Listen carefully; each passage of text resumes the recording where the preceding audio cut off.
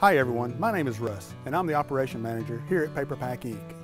One of the ways we want to be the best partner with our customers is to show them ways to save time and money in their business.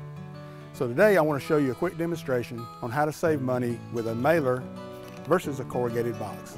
Now the usual way to do this is you'll take a box, you'll put into the box, and you'll get some packing peanuts and you'll make a mess that I'll have to clean up later.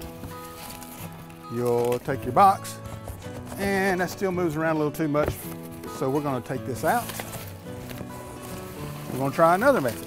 We're gonna take our product, return to our box, and we're gonna take paper and stuff.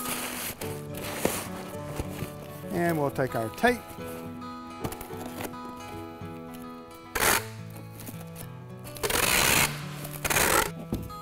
Now we're secure. We weigh our product. It weighs 6.8 pounds using our UPS site. It's going to cost us $13.97. Now the way I want to show you today is a little bit simpler. Product into mailer.